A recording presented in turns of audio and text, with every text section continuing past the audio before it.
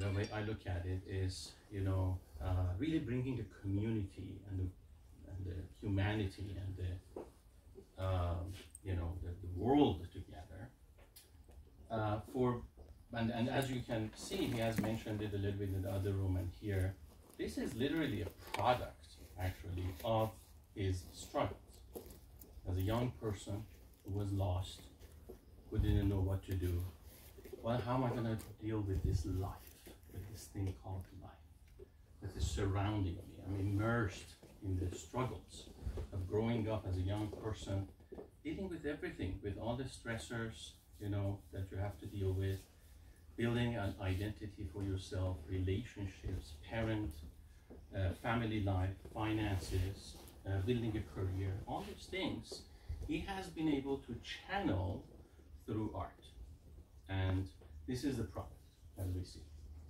This, this is rare, if you think about it, somebody being that authentically and genuinely interested in channeling what we all experience, anxiety, depression, stress, confusion, uh, sometimes hopelessness, helplessness, not knowing what to do in life, and, and creating a beautiful product out of that. So really that is kind of the bridge because what he has done in more of an artistic way, I have learned and done in my life um, in more of, I would say, an opportunity. So to give you a little bit of information, where I come from, my first really career was uh, information technology. I was like a software engineer before becoming a psychologist. But lots of things happened in life, and that those events led me to choose more or less this field, the field of mental health, of channeling that type of energy, that type of frustration in learning about humanity, but from a functional perspective how do we function?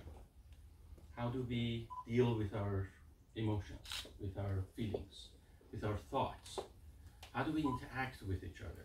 And that's why about after going back to school, getting my degree, etc. 10 years ago when I passed the exam, I got my degree and so forth. So I came to create Nowruz Clinic Foundation. Nowruz is a Persian word, means New Year.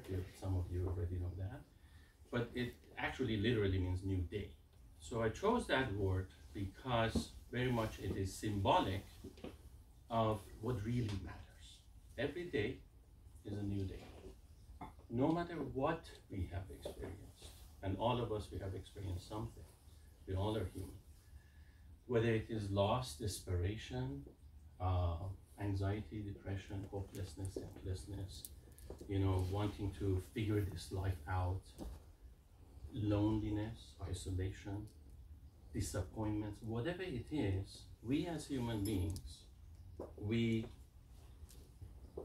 ultimately share that type of a commonality.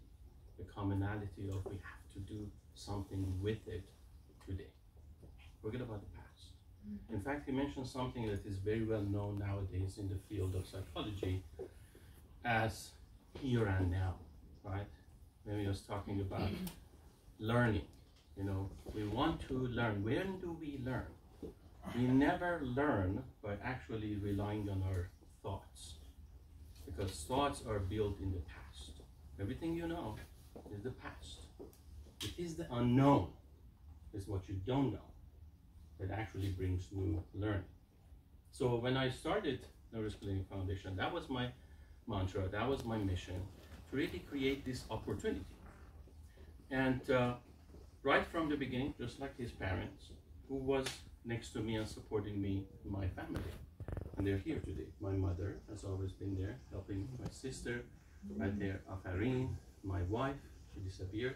She was right there before 18 years ago, and my wonderful daughter, Lina, who, and they came together.